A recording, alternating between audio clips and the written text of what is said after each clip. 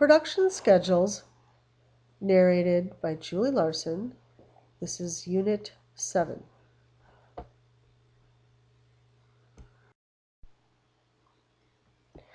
When figuring out production schedules, one of the first things you want to look at and determine is your marketing strategy. So, who will you be selling to? Are you going to be going to farmers markets? Well, those start certain times of the year. Um, are you just going to have customers come out to your farm? Then you want to make sure you always have some product available for them. Uh, are you going to be selling fresh or frozen? Uh, farmers markets in Illinois, you can only sell frozen, so you have a much longer turnaround time as opposed to your market wanting fresh food, uh, fresh meat. Uh, then you're going to have to have a pretty quick turnaround time. Um, also, what seasons? Uh, in order to do your scheduling, you're going to have to think about, you know, those certain ethnic holidays where they um, want certain cuts of meat, uh, or Easter when people want a lot of eggs. Make sure that you have enough product at that time. Uh, quantity, how much are you going to need if you're doing five markets or 10 markets? Or uh, if you're also going to be selling to restaurants or uh, small grocery stores, what are they going to require from you? And lastly, when you're doing your marketing strategy, you're going to need to determine whether you want uh, feeder animals versus breeding because the your scheduling uh, for the feeder animals is you know when you buy your animals at, uh, from wean the time they're weaned till the time that they're ready for uh, harvesting is a much more is a much shorter time than if you're going to be uh, having a whole breeding system, uh, production system that includes breeding. So uh, those have to be taken into account also. How you're going to market your animals if you are going to say that they are, you know, raised on your farm and you, uh, um, you know, you do have a breeding system. Uh, maybe your customer base will really like to hear that, and that will be an important thing to them. So all of those ideas have to be uh, worked out uh, in order to, to really start doing your production schedule.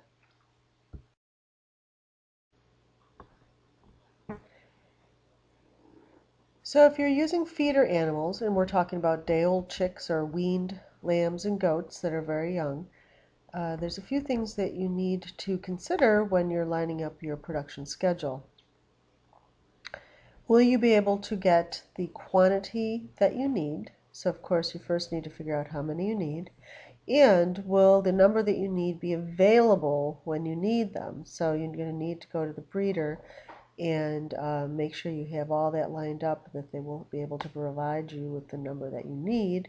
And secondly, is that breeder going to provide you with animals that uh, will have a reliable growth rate? So uh, if you've never used them before, uh, you want to make sure that those animals are healthy in good condition when you do purchase them and uh, you would look at the breeder uh, the mother and father make sure that they're the size that you require or want for your final carcass hanging weight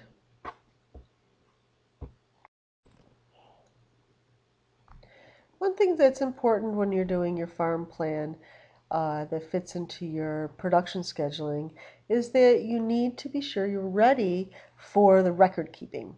So be sure that you have ear tags on hand, uh, that you are keeping track of all your feed receipts so you can uh, keep track of how much each one is being fed and the cost that that is going to entail.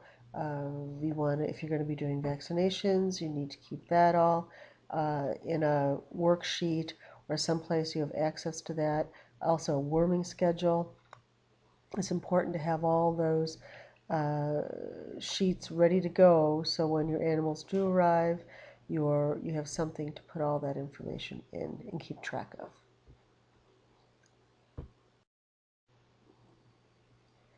As part of your scheduling, You're going to have to uh, include some of the general maintenance that goes into uh, the Jeep, uh, sheep and goat production is what we're talking about here.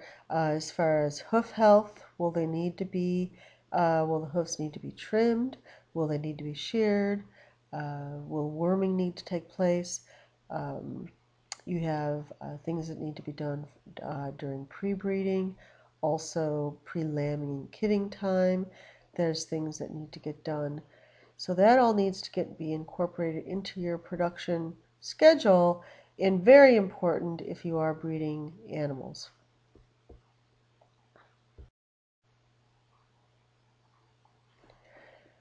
If you are going to be breeding uh, your replacement stock and also the animals that you'll be taking to the processor, uh, in your production scheduling, you'll need to keep track of uh, things going back even two to six weeks before you plan to have the ram and the ewe together.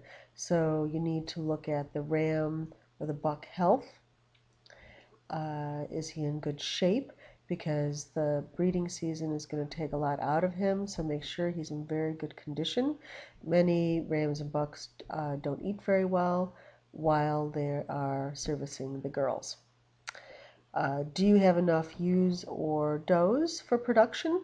Uh, maybe you do need to purchase um, a few to um, fulfill that production schedule. Uh, vaccinations, what vaccinations you'll be doing at what times. Uh, worming is very important before they get bred. Uh, you also you want uh, maybe if necessary you do what's called you flush the females which is you increase their nutrition to increase the ovulation rate and most of the time this is done with an increase in grain uh, in calories so uh, if you need to do that you need to look at those and include those into your scheduling So once your animals have been bred, uh, now you're going to wait the five months until lambing and kidding begins. But there's some things you're going to have to do before uh, the five months are up. So six weeks before, make sure you have a very clean environment inside a building. So if the weather turns bad on you, you have some place to take them in.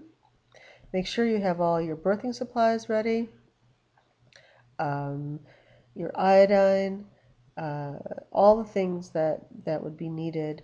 Have them handy, up to date, make sure everything's, uh, none of your things are out of date, uh, and have them ready to go in a bucket. Uh, you want to make sure all of your animals, females, are in good condition. Uh, so if they're a little bit on the thin side, maybe increase their grain a little bit or have better nutritional hay. Uh, put them out on some nice grass uh, because uh, you want to make sure they're in good condition uh, once they have to start um, nursing. Shear all the fur away from their face, their udder, and their tail to make sure that there's no tags hanging for the little ones to nurse on or suckle onto any of the uh, tags around the tail, around the udder. You want to make sure that that's clear and able for them to get right on the teat.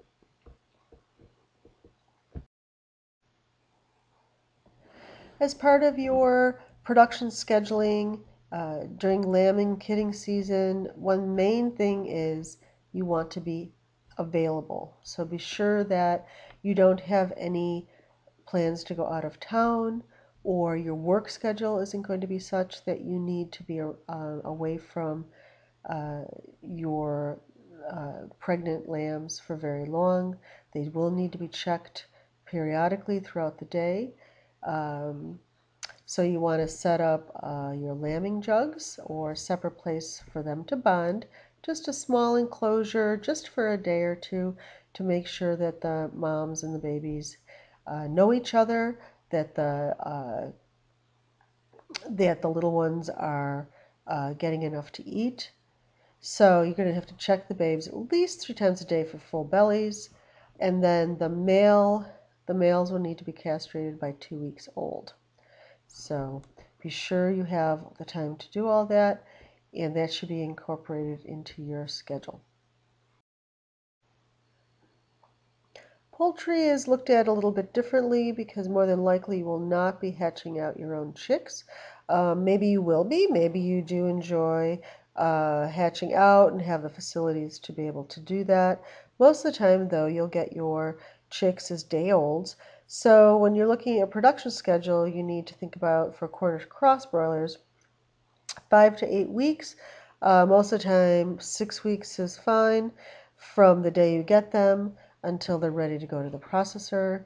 Um, if you're going to be doing eggs, uh, you're going to want to start those four to five months uh, before you're going to need those eggs. Turkeys, they take about 16 weeks to finish. Uh, so if you're going to be doing a lot for Thanksgiving, make sure you're uh, thinking about the processor, which gets very, very busy about this time, and also that uh, those four months before uh, you have uh, everything in place for those four months. Ducks are shortened time, so six to eight weeks from the day olds until they go to the processor.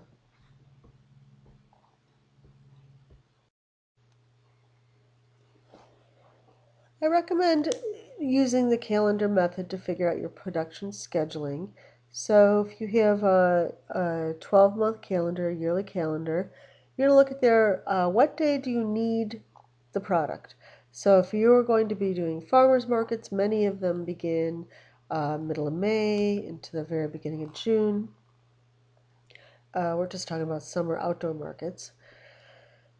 Um, so if you're going to be doing, uh, and then you're thinking about doing lamb, then they mature at about six months. You hope they'll be about 125 pounds.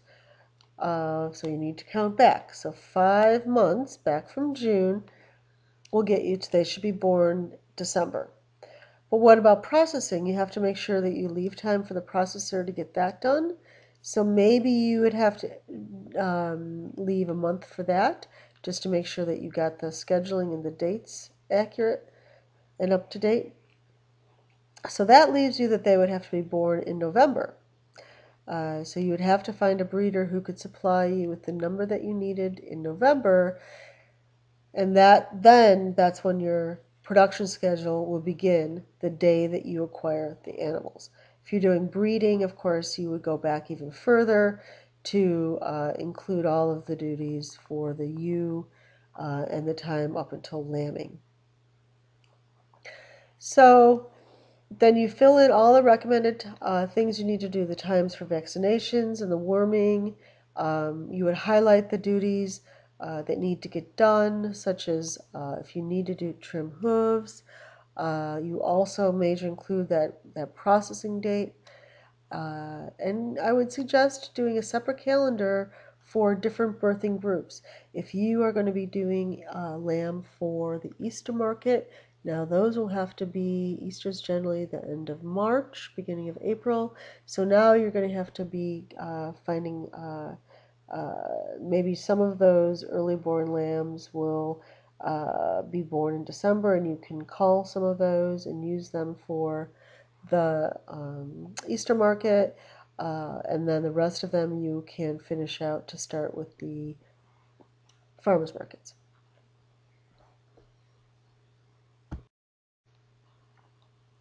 Unless you are doing a small quantity and going to be processing for yourself and not planning to sell any of the products, uh, you will need to uh, incorporate the processing times for uh, all of your products.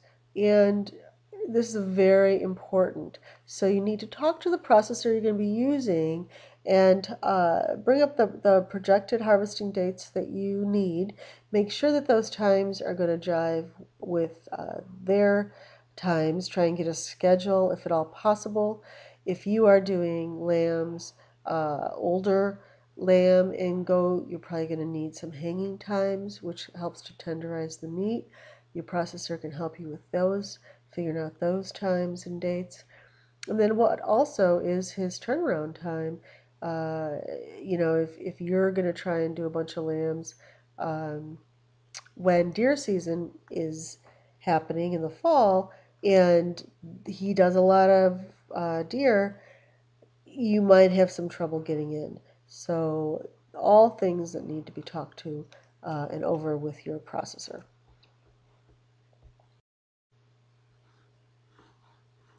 Production, production scheduling seems as though it's really very detailed and time eats up a lot of time, but there are some key reasons that having an accurate or close to being accurate pro production schedule can help are uh, in these ways. Uh, you're better able to market your product because you're going to know when it's available and how much you're going to have. Uh, you can supply your market giving, uh, giving and getting the best prices uh, uh, when you know how much you're going to have at certain times. Uh, and you always have product available. There's nothing worse than running out of, um, you know, sausages when it's grilling season, or you have so many people who want to buy your turkeys, and you only, you have not figured out how to produce all those. Um, and really, the last thing that's super important for all of this when you're doing animal products is that you have the refrigeration required to make this whole schedule work. Because if you're coming back from the processor with 300 chickens and they need to be frozen for market, do you have the freezer capacity to manage that? So uh, the production schedules can really help you with your entire farm plan to get your customers the best product possible.